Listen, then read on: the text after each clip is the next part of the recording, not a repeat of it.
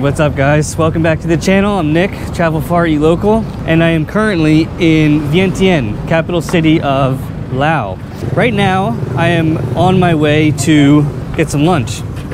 The place that I'm going right now specializes in lap or lab. And if you're familiar with the food of Isan, you will probably ask yourself, wait a second, that sounds like Isan food or Thai food from the Isan region of Thailand. And you'd be right, it is exactly like that.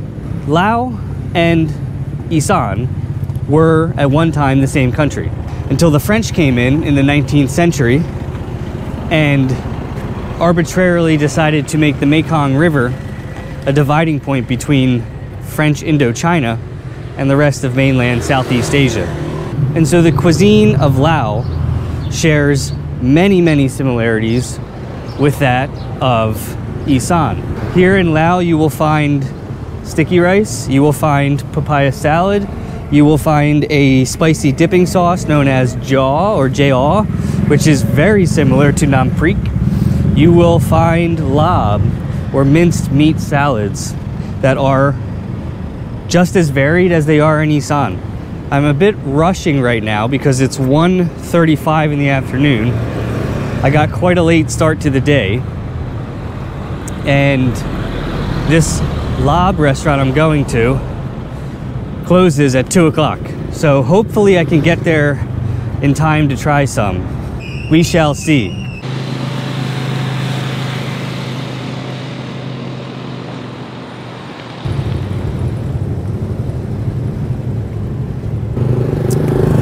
In Lao, there's a heavy, heavy emphasis on using every part of the animal. And so you frequently see offal, blood, blood cakes um, in Laotian cuisine. Last night I had a amazing dish of lab, which, which contained uh, pork, pork liver, and ant eggs actually, which was super interesting and super good. Okay, I found it, but I am on the wrong side of the street. So I'm gonna do something that's probably very illegal and cross this median right here.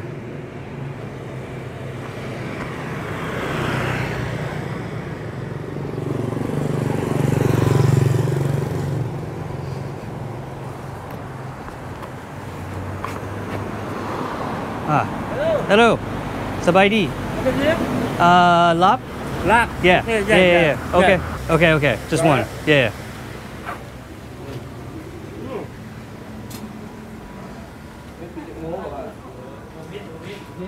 Can I sit outside over there? Thank you. Wow, it's dark in here. I'm gonna go over here. Lap? Huh? Same, same? Same. Ah, okay, okay. Only one, yeah. Oh, it's super dark in here. It's nice though to be out of the sun.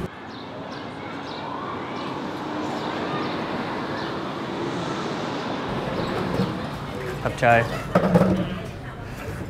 Uh, lap? Yeah. Pork lap?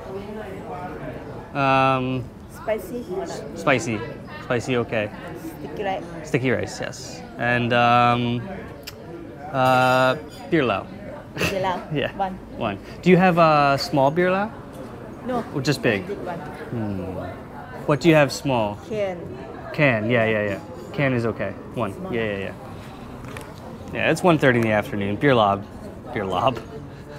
beer lao is okay. So I'm not really sure what type of laap this is. I literally just said laap, so I have no idea what I'm getting.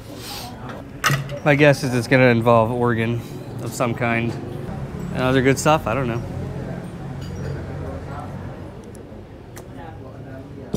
The best part of drinking beer in this country is how cold it is. They keep the beer lao like just above freezing. It's really, really nice.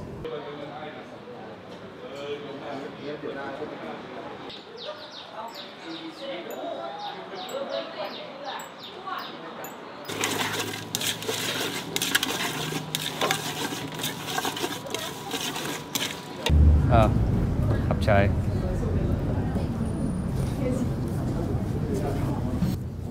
All right, so she just brought out some stuff, and you'll probably notice a lot of similarities, like I was saying, between here and Isan. We have sticky rice served in a very similar type of like bamboo container, a plate of greens, which are essentially for the laap. You can eat them, uh, you can put the laap in them and kind of eat it with like cucumber, um, eggplant. I don't know what these are. These red greens, these like reddish green greens here. These are something new. I've never seen these before. Mmm. That tastes like um, very dry, very tannic, very bitter. With a very like, almost a cross between like mint and lemongrass. And then a dipping sauce, which is loaded with chili pepper seeds. Very, very similar to an Isan table, like very, very similar. Here's the laap, a lot of chilies on the side, and I'm gonna go with, uh, we'll start with this. Let's start with just like a little uh, handful here of the sticky rice. And then in the dip, give this a shot.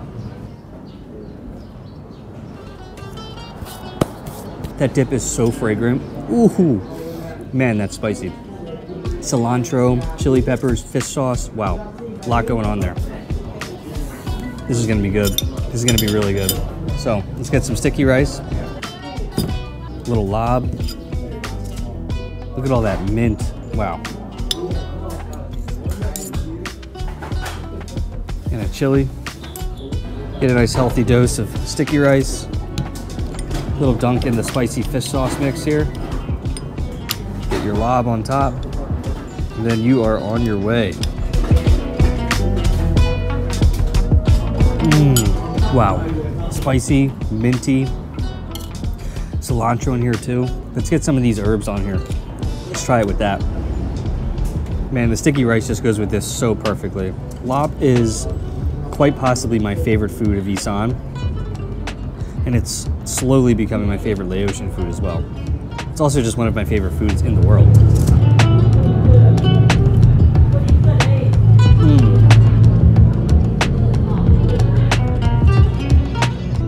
That herb has a nice bitterness and crunch to it because those leaves are very firm. Nice like tannic undertone. Mix those chilies in there. Look at all the colors. Red, yellow, green, brown, white. Get that dipping sauce on there.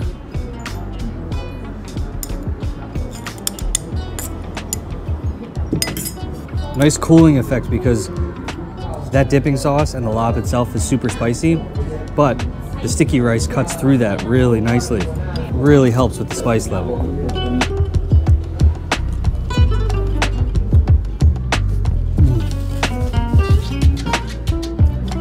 Love all the greens. Between that, the dipping sauce, you really have the ability, and this is not just this place, but Southeast Asia in general, when it comes to the condiments and the herbs that they put on the table, really gives you the opportunity to create your own kind of dish, right? Like everyone can order this, everyone at the table can order this exact laap dish. But with all of these different condiments and variations, you can make it your own. And two people could be eating the same dish that will taste completely different.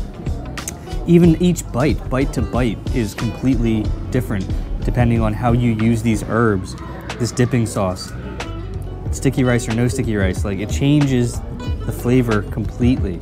It's not just like the taste of the food, it's variability in every bite that you eat between person to person, even within yourself.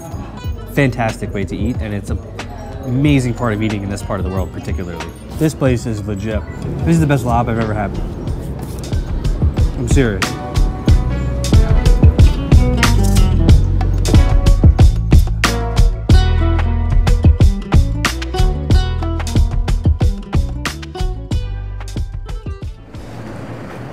All right, man, that was excellent. Um, check in the description below. I'll put the actual like address of that place if you want to try some like seriously good laap in Vientiane. Right now, I'm, I got to get a tuk tuk though because uh, the next place I'm going is about 30 minutes away by foot, and uh, my heel is still not like totally healed. My heel is not totally healed. Yeah, I don't know, but the sea urchin spines are still in there, and uh, ow, yeah.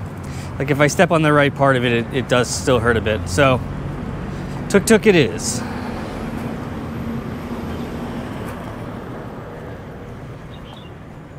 One hundred thousand kip. No, that's too much. Huh? It's not that far. How much? Uh, 50,000 kip.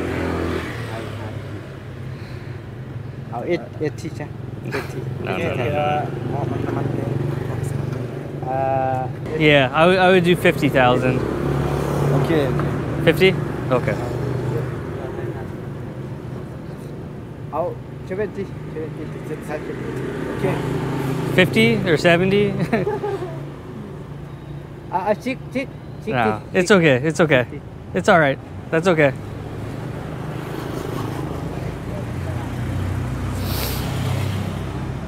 Yeah, I'll just go to the next one. Huh? 50? ไปพวกมันเท่าแบงค์มันเท่านะ เดี๋ยวรอทางไหน รถมันนี่นะ Tuk tuk drivers, man. It's always a headache trying to get these people to get the right price. Oh, I think they're gonna try and share it, maybe. Okay, okay.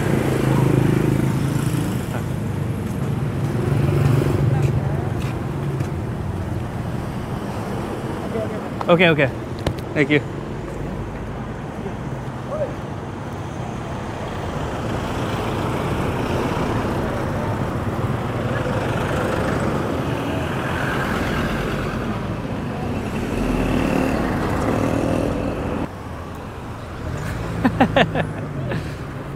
that was actually close. That person like literally just didn't stop.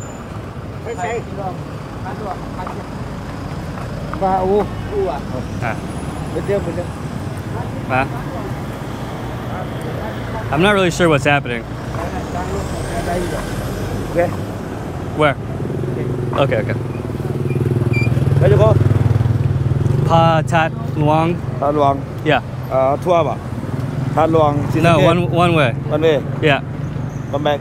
No. Oh. How much? Fifty. Fifty. Yeah. Sixty. No, fifty. Fifty or no? Come back. No.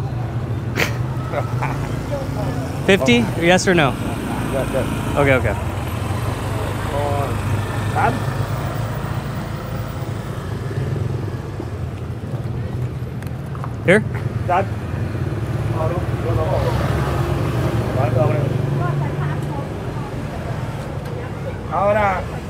Th- This is why I avoid tuk tuks at, at you know, I try to at least because it's just such a pain in the ass. Like,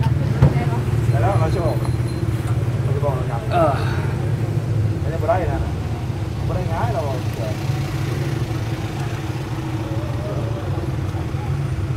I think this car is blocking us, so he's got to try and get this thing out of the way.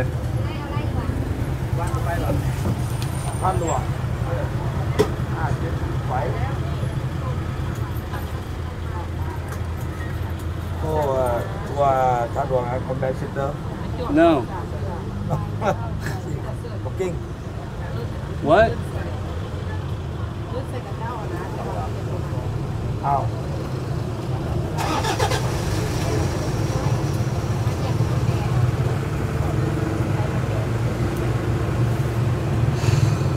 Just like nothing but a headache. If I didn't have an injured foot, I'd be walking, trust me, because of this. You spend more time trying to just get the tuk tuk than you do just getting to the place that you're going.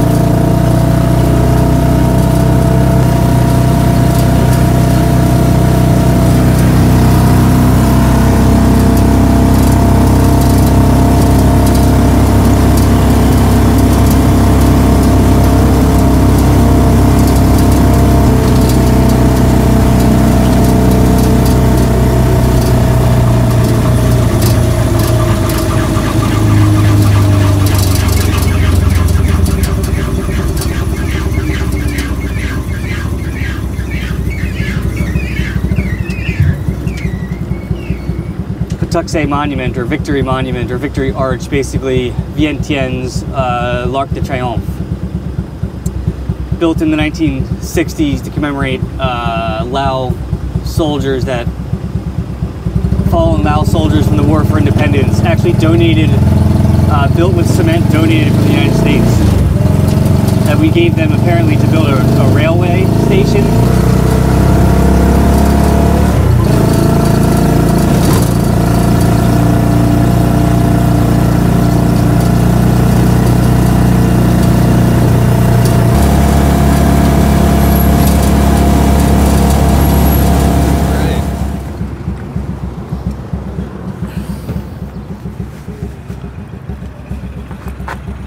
Up.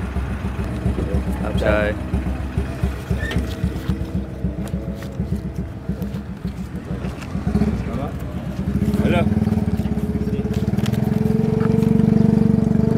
Okay, so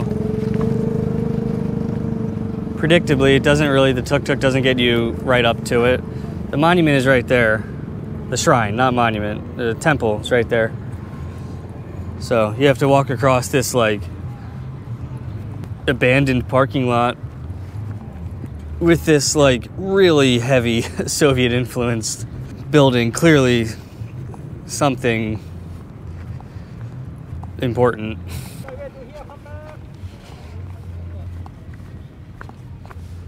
Okay, so this is Pha That Luang, which is probably Vientiane's most famous and iconic temple.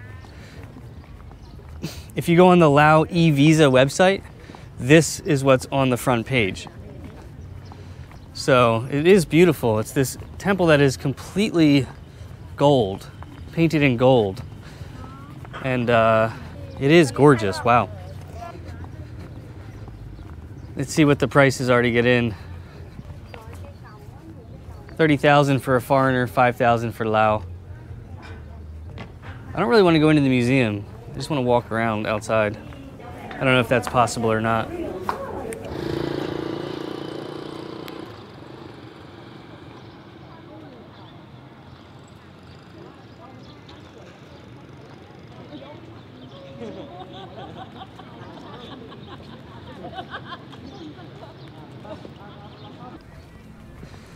So this area is apparently, I guess, multiple different temples. Like, this is an entire temple complex that's right next to uh, the Golden Temple. Let's see if we can go inside.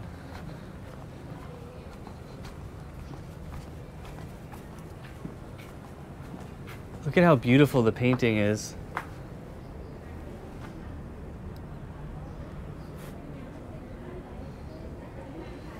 And the gold.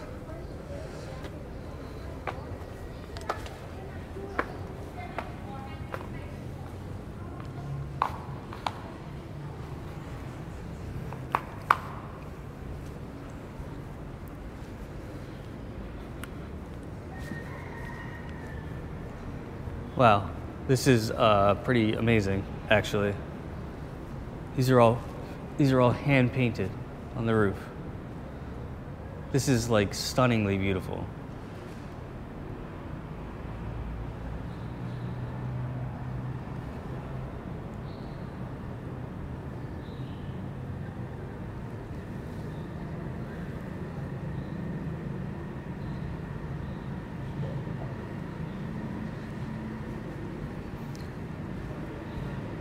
Oh, hello. Uh, I got a friend here that's come to join me in the temple.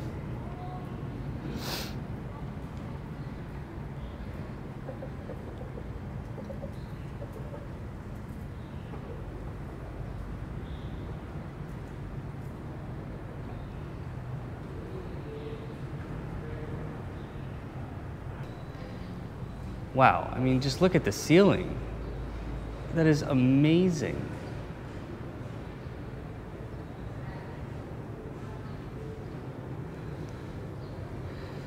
So, fun fact I have a Lonely Planet guide for Lao. I use Lonely Planet a lot when I travel, and uh, this right here, this scene Let me move over. This scene right here, that picture, is the front cover of the book. it's hilarious. But yeah, this is uh this is amazing. I actually don't know if this is I you know th- this artwork to me looks like a Hindu temple, but uh, Laos is primarily a Buddhist country, so I actually don't know if this is Hindu or not, or Buddhist or not. It's beautiful though, either way. Little market area behind the temple. See what we got. Clothes, sticky rice baskets. These are not sticky rice baskets. These are uh, just baskets. Maybe they are for sticky rice. Some of them, maybe. Clothes. Then the temple's right there. Sorry, it's facing right into the sun.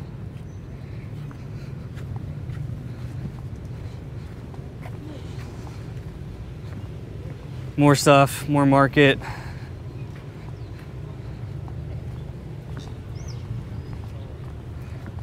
Yeah. Cigarettes, I don't know, all kinds of stuff. Yeah, see, these are actually sticky rice baskets. Right here. And this is actually used to cook the sticky rice.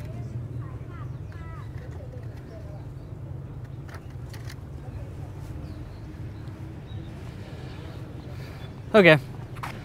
Pretty awesome temple, but I don't want to go inside. It's 30,000 kip to go into the museum inside, which is, I'm not really, to be honest, I don't really know what's inside. I didn't think you could even go inside. I thought it was just like you kind of walk around the outside, but in any event, I'm going to skip it and uh, get another tuk tuk to the next location.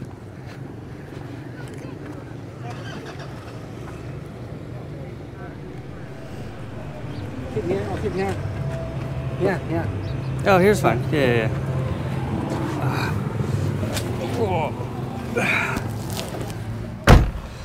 Okay, I thought I was getting a tuk tuk, but this man is taking me in his minivan.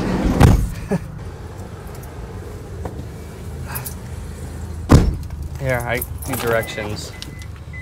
I'll do directions.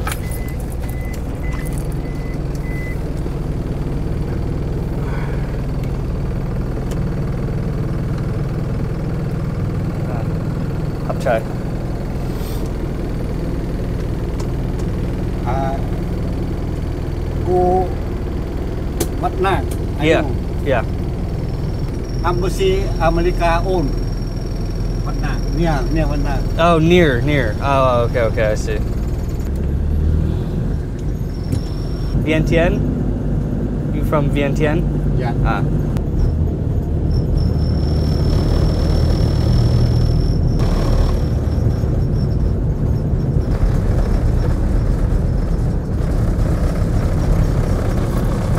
So I'm going to a place called uh, Anna Grilled Duck Restaurant. It's a very interesting dish that's supposed to be really good that I really want to try, which I will tell you about in a minute. But it's quite far out of the city, and uh, hence the need for a taxi. Uh, right? And then that way. All right, so I think we're just about there. It's just down the road. Okay, perfect. Yeah. All right, so 150. So 100. 50. Hop chai. Hop chai. Hop chai. okay, see you. Bye-bye. Bye-bye. Oh. All right, so I'm not sure where I'm at, but man, this is a super nice neighborhood. Look at those apartments, they're gorgeous. Gated community, nice greenery. This is definitely a rich part of Vientiane. Means my restaurant bill is going to be nice and fat. Anyway, I'm going to a place called Anna Duck Grill. There it is. Wow, look at this house. It's up there. It's all that area up there. I don't know how to get there.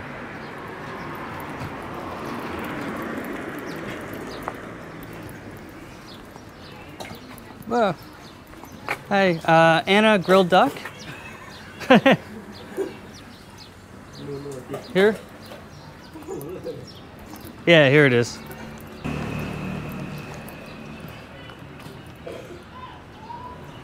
It's a weird thing to see out front of a restaurant. But I think this is I think this is it. Given all of the uh, Anna Duck Grill stickers they have on the door. Anyway, Pang Pet. That's what I'm here for. Pang Pet.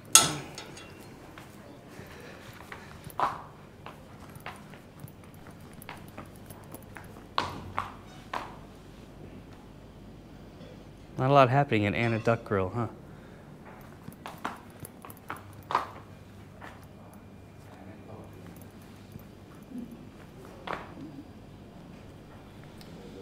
Oh man, I hope they're open. Uh, just one.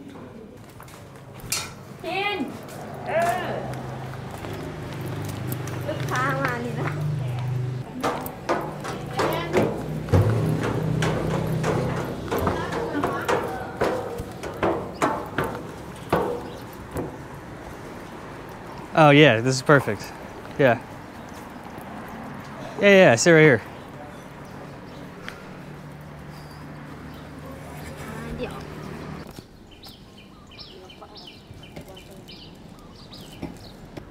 Yeah. Uh huh. And uh, sticky rice? Ah, uh, yeah. Pictures are good. Yeah, yeah, yeah, yeah, yeah. and that's it. Yeah. Okay, there's no English here, and the menu is all in Laotian. Those are good things. Those are those are very good things. Okay. Ah, why am I here? It's an annoying sound my tripod made. Um, Pang Pet. Pang Pet which is probably not how you say it, is a dish uh, essentially of coagulated duck blood, raw duck blood, that is topped with lots of herbs like mint and cilantro, hapchai. And um, I believe the way they make this is they take the fresh raw duck blood and they mix a little water into it to speed the coagulation process. And it gives it like a gelatinous consistency almost like you're eating um, gelatin um, or something like that. Like yeah like basically like a gel like gelatin. I have a visitor. Hi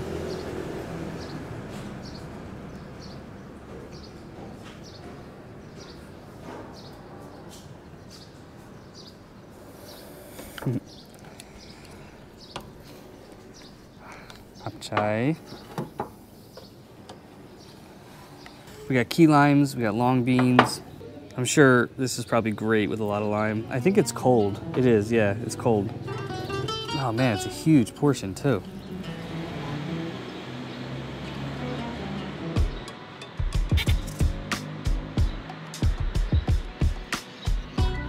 See, it has this like gelatinous consistency. I don't know if you can tell, but it's like kind of jiggly.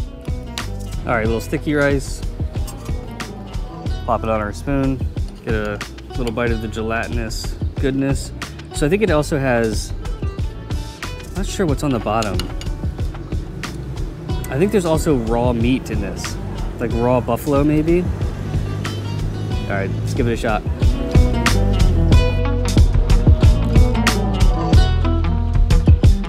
This doesn't taste anything like blood. It tastes like mint, tastes like cilantro, it tastes like peanuts that are in it.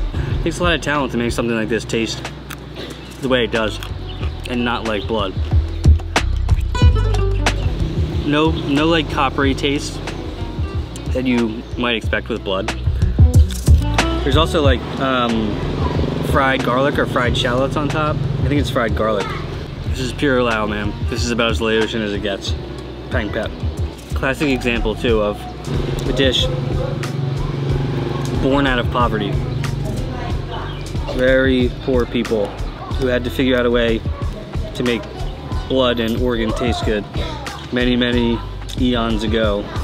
This one's not for the faint of heart. you might want to work your way up to the Pang Pet if you're not much of an adventurous eater. Start with blood sausage or something. Work your way up to Pang Pet.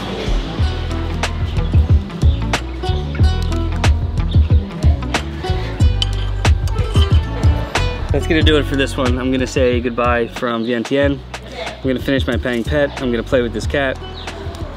And walk a certain distance that way to try and get a tuk-tuk back into town. All right, guys, till the next one. See you from Vientiane. Bye.